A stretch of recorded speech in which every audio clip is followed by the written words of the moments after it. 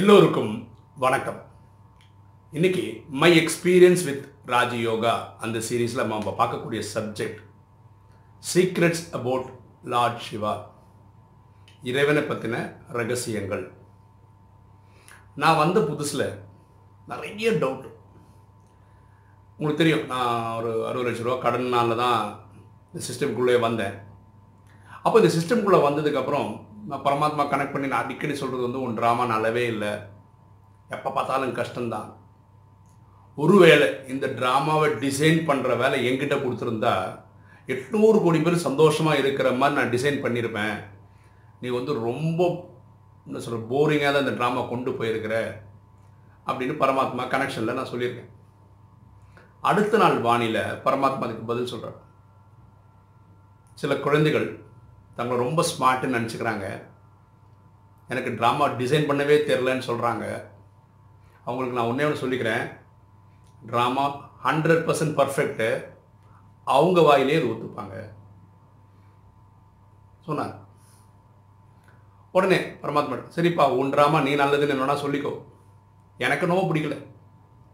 எனக்கு நீ மோட்சம் கொடுத்துரு. மோட்சம்ன்ற வார்த்தைக்கு என்ன அர்த்தம்னா பிறவா நிலை. எனக்கு இந்த ட்ராமாவில் வந்து நடிச்சுக்கிடுச்சுலாம் போக முடியாது. சாந்தி தாமத்திலே உட்காந்துக்கிறாங்க எனக்கு இங்கே வர முடியாது. அடுத்த நாள் பரமாத்மா இந்த கேள்விக்கு பதில் சொல்கிறார் இந்த ட்ராமா ஐயாயிரம் வருஷமானது. அது ஒரு கல்பம்னு சொல்கிறோம் அதில் ரெண்டாயிரத்தி ஐநூறு வருஷம் சுகம் ரெண்டாயிரத்தி ஐநூறு வருஷம் துக்கம். இப்படி தான் நான் டிசைன் பண்ணியிருக்கிறேன். இதில் மோட்சம்ன்றது யாருக்குமே கிடையாதுன்றார். யாருக்குமே கிடையாதுன்னா சிவன் உட்பட கிடையாது. கடவுள் எனக்கே கிடையாதுன்றார். அப்படின்னா என்ன அர்த்தம்னா நம்ம மேக்ஸிமம் எண்பத்தி நாலு பிரிவு எடுத்து நடிச்சிட்டு இருக்கோம் சில பேர் ஒரு பிரிவு எடுத்து நடிக்கிறாங்க. அதான் கம்மியான பிரிவு. இந்த சங்கமத்தில் நானே வர வேண்டி இருக்கிறதுன்றார் பரமாத்மா. உங்களை திருத்துறதுக்காக உங்களுக்கு ஞானம் கொடுக்கறதுக்காக நான் வர வேண்டி இருக்கு ஞானம் கொடுக்குறேன். ஆனால் நான் மட்டும் திரும்பி வீட்டுக்கு போயிடுறேன். ஆனால் வராமல் இருக்கவே முடியாது. எல்லா கல்பத்திலையும் நானே வந்து போக வேண்டி இருக்கு அதனால நான் வந்து போகிறேன் அப்படின்னா ஒரு வழி ஒரு ஆங்கிளில் சொல்ல போனால் எனக்கே மோட்சம் இல்லைன்றது அதுக்கு அர்த்தம் அப்படின்றது. ஓகே அப்படி இவரே வந்து வந்து போகிறாருன்னா அர்த்தம்? உடனே அடுத்த சந்தேகம். பரமாத்மா கிட்ட.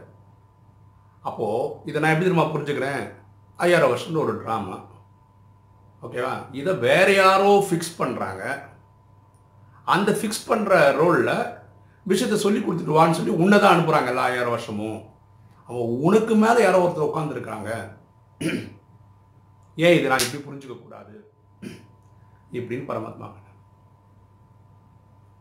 அடுத்த நாள் வானிலை பரமாத்மா சொல்றார்.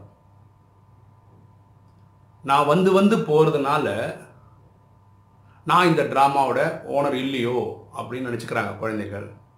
நான் கிளியராக சொல்லிக்கிறேன். நான் தான் சுப்ரீம் சோல் எனக்கு அப்பா அம்மான்னு யாரும் கிடையாது. எனக்கு மேலே ஒருத்தர் உட்காந்து நீ இதை பண்ணு அதை பண்ணுன்னு சொல்கிறதும் கிடையாது. என்ன நாலேஜ் தெரியுங்களா இது? ஆக்சுவலாக உங்களுக்கு எல்லாம் சொல்லிக்க விருப்பப்படுறது என்னென்னா நீங்கள் இந்த ராஜயோகம் செவன் டேஸ் கோர்ஸ் முடிச்சுக்கோங்க. இந்த யோகா பண்ணுறது ப்ராக்டிஸ் பண்ணிக்கோங்க. அதுக்கப்புறம் நீங்களாச்சு பரமாத்மாச்சு என்ன டவுட் வேணால் கேளுங்க. ஆத்மார்த்தமாக கனெக்ஷனில் கிடச்சிச்சுன்னா பதில் கட கட கடன் கிடச்சிடும்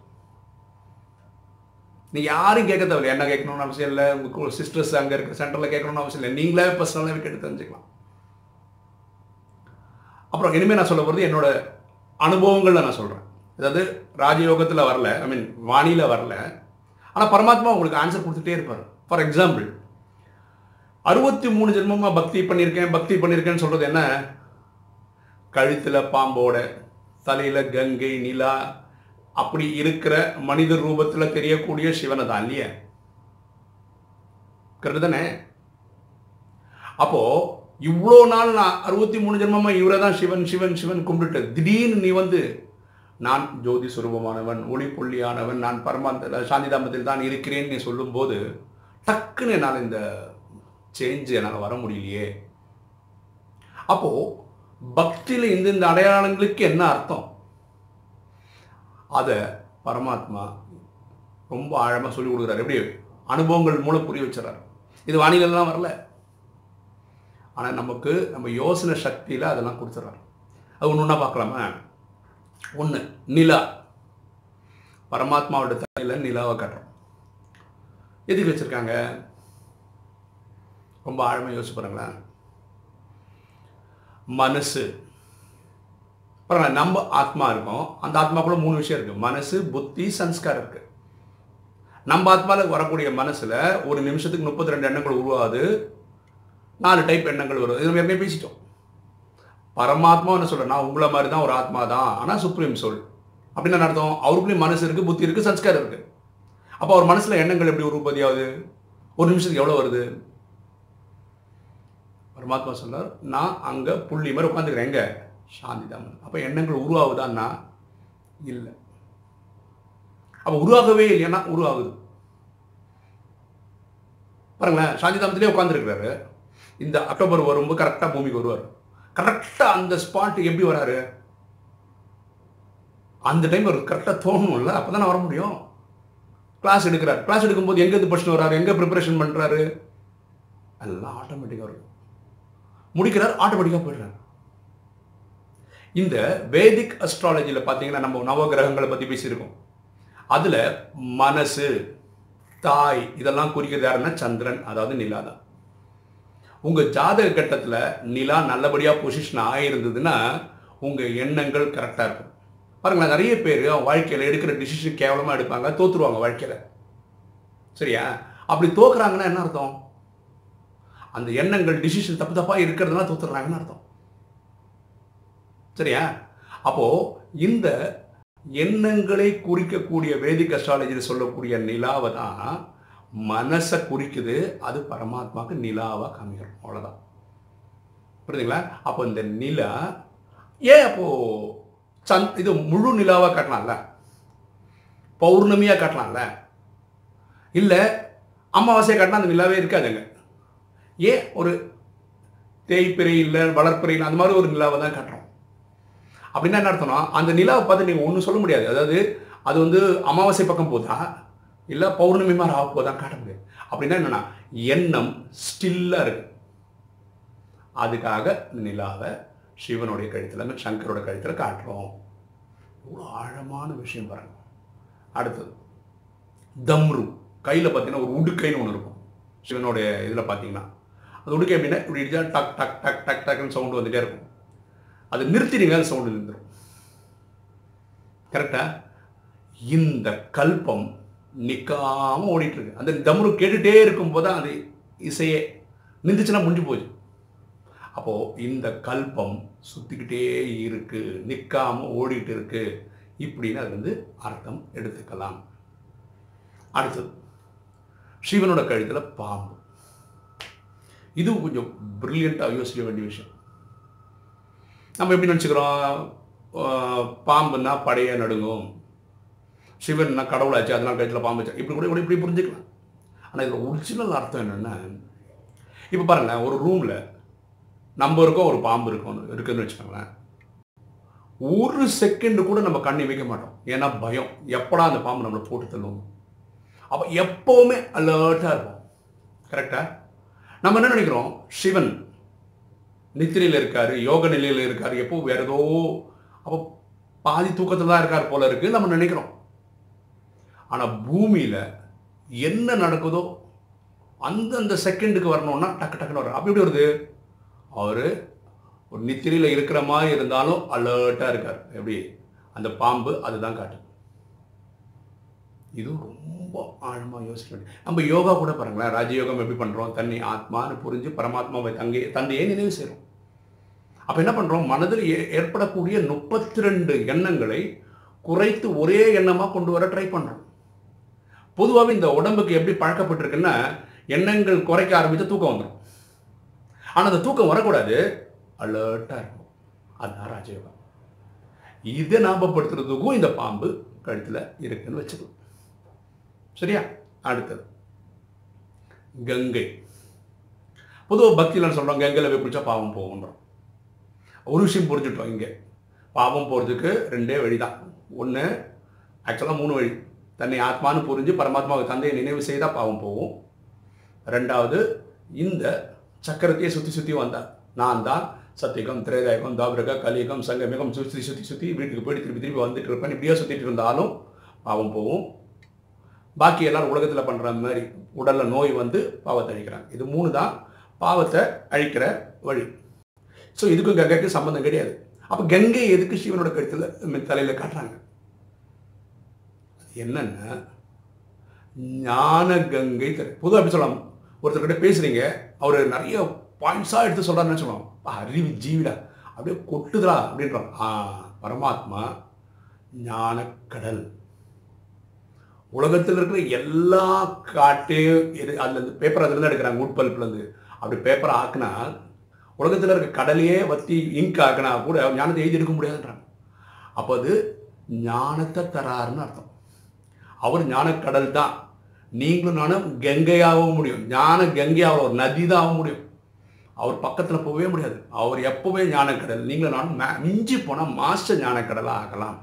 ஸோ இந்த கங்கை எதை உரு- குறிக்குதுன்னா அவர் கொடுக்கக்கூடிய ஞானத்தை கொடுக்குறாரு கொடுக்குது கொடுக்குறாருன்னு புரிஞ்சுக்கலாம். சரியா? அடுத்தது அவர் நீலகண்டன் சொல்கிறோம் நீல நிறமானவர் அப்படின்னு பக்தியில் சொல்கிறோம் யார? சங்கர். அந்த நீலம் எதை குறிக்குது? ஆக்சுவலாக கதை என்னென்னா தேவர்களும் அரக்கர்களும் என்ன பண்ணாங்கன்னா அந்த அமிர்தத்தை எடுக்க ட்ரை பண்ணாங்க. அப்போது சிவன் விஷத்தை பிடிச்சாரு பார்வதியர் கழுத்தை பிடிச்சாரு. அதனால நீலகண்டன் விஷம் இறங்காமல் போச்சு. இது கதை. ஆனால் இது வந்து நம்ம புரிஞ்சுக்கிறது என்னென்னா நீலன்னா இந்த பூமி பாருங்களேன் ஆகாஷம் எப்பவுமே ப்ளூவாக இருக்குது எப்படி ப்ளூவாக இருக்குது ரிஃப்ளெக்ஷன் ஆஃப் தி சி கடலோட ரிஃப்ளெக்ஷன் அப்போ பூமியில் எங்கே வேணால் ட்ராவல் பண்ணுங்கள் நம்ம இப்போ இருக்கிற நிலத்துலேருந்தே பாருங்கள் நில மேகம் வந்து நில ப்ளூ கலரில் தான் தெரியும். அப்படி தானே தெரியுது? அப்போது அந்த நில நில எங்கே அந்த ப்ளூ எங்கே வரைக்கும் தெரியுது? எல்லா இடத்துலையும் அப்படி தான் தெரியுது இன்ஃபனைட் பரமாத்மா இன்ஃபனைட் அது இந்த பவுண்டரியில் இல்லாதவர் அப்படின்னு புரிய வைக்கிற மாதிரி அர்த்தத்தை தான் இந்த அந்த ப்ளூ கலர் காட்டுது. இப்படியும் இதை புரிஞ்சுக்கலாம். அடுத்தது ரொம்ப முக்கியமானது.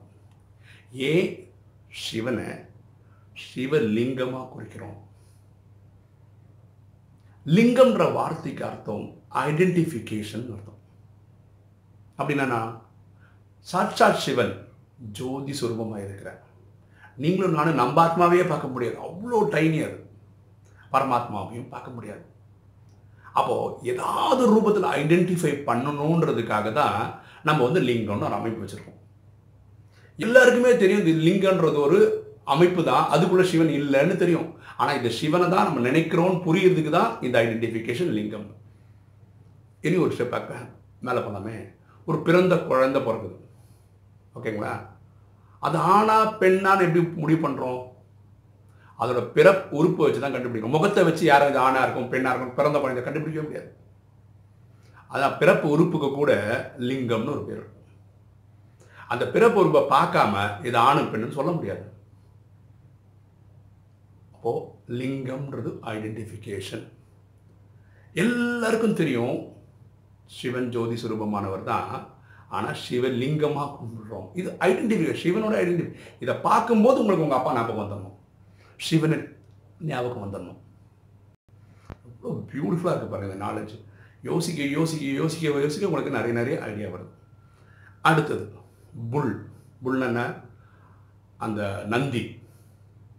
ஆக்சுவலாக ஹிந்து சாஸ்திரப்படி நந்தி நம்ம என்ன சொல்றோம்? சிவனோட வாகனம்னு சொல்கிறோம் அவர் அங்கேருந்து கிளம்பி வராரு இல்லை ஆத்மா தான் ஃபாஸ்டஸ்ட் ட்ராவலிங் ராக்கெட்லாம் கிடையாது. ஆத்மா தான் ஒரு செகண்டுக்கு அடுத்த செகண்டுக்குள்ள அமெரிக்காவுக்கு போகணும் ஆப்பிரிக்கா போகணும் ஆத்மாவில் போகணும் அப்போ பரமாத்மா சாந்திதாமத்துலேருந்து இங்கே அப்படின்றதுக்குள்ளே வந்து சேர்ந்துடுறாரு.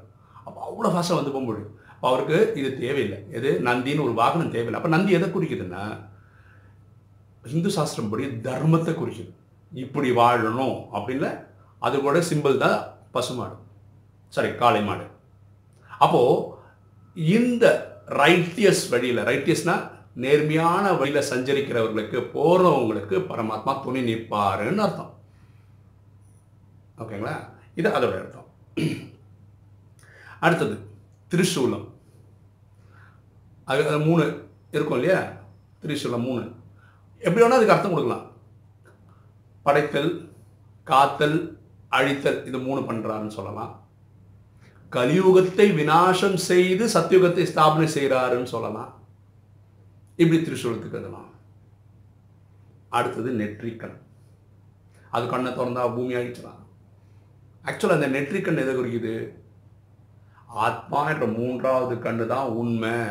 அந்த மூன்றாவது கண் அந்த ஆத்மா தான் இந்த உடலையே இயக்குது. அப்படின்னு புரிய வைக்க வேண்டிய நாலேஜ் தான் இந்த நெட்ரிக்கன் தவிர அதை தொடர்ந்து பூமி அழிக்கிறாருன்றது கிடையாது. அது தொடர்ந்து அழிக்கிறாருன்னா அவர் அங்க இங்கே அங்கிருந்து வர வேண்டியதில்லை. இந்த பூமி அழிக்கணும் வினாசம் பண்ணால் அங்கிருந்து அப்படியே தீயா எரிஞ்சு பூமி அழிக்கணும்னா பண்ணலாம். அது அப்படி பண்ணுறது இல்லை. பிரேரணை செய்வதில்லை. அங்கிருந்தே மேஜிக் அவர் பரமாத்மா பண்ணுறது இல்லை. அப்போ வரலாம். சிவனோட ஒரு ஒரு அடையாளத்துக்கும் எவ்வளோ ஆழமான கருத்துக்கள் இருக்குது அதெல்லாம். இதை எப்படி கண்டுபிடிச்சு சொல்கிறார் நமக்கு ஆர்வம் இருக்க இருக்க பரமாத்மாவே இதுக்கு ஆன்சரை கொடுத்துட்றாரு. ஸோ இந்த ராஜயோகம் ப்ராக்டிஸ் பண்ணுறவங்களுக்கு சொல்ல விருப்பப்படுறது இதுதான். உங்கள் மனசு ஆயிரம் எண்ணங்கள் இருக்கலாம் ஆயிரம் குழப்பங்கள் இருக்கலாம் ஆயிரம் கேள்விகள் இருக்கலாம். தயவு செய்து இந்த ஏழு நாள் கோர்ஸ் முடியுங்க அப்புறம் நீங்களே பரமாத்மாவோட கனெக்ஷனில் வாங்க. கேளுங்க. நிறைய கேள்விகளுக்கு உங்களுக்கு வானிலே பதில் கிடைச்சிடும் இல்லைன்னா உங்கள் அனுபவங்களை நீங்கள் கற்றுப்பீங்க கண்டிப்பாக கற்றுப்பீங்க நான் இந்த கேள்வியெல்லாம் நான் பக்தியில் இருந்தவங்க கூட கண்டுபிடிக்க ட்ரை பண்ணலை. ஏன்னா நமக்கு சிவன் மேலே பயங்கர அன்பு இருக்குது சமயப்பட்டு இருக்குது நான் பல கேள்விக்கு பதிலே தெரியாமல் எப்படி உட்கார முடியும்? கரெக்டாக ஒரு கெமிஸ்ட்ரி டீச்சர் கெமிஸ்ட்ரியில் அப்படியே பிஹெச்டி லெவல் போகிறாங்க அதில் ஆர்வம் போகுது. நமக்கு ஆர்வமே சிவன் தான். அப்படி இருக்கும்போது கண்டுபிடிக்காம விட்டுருவோமா என்ன? ஓகே ஓகே உங்களுக்கு இந்த வீடியோ பிடிச்சிருக்குன்னு நினைக்கிறேன். பிடிச்சிருக்கோங்க லைக் பண்ணுங்கள் சப்ஸ்கிரைப் பண்ணுங்கள் ஃப்ரெண்ட்ஸுக்கு சொல்லுங்கள் ஷேர் பண்ணுங்கள் கமெண்ட்ஸ் போடுங்க. தேங்க்யூ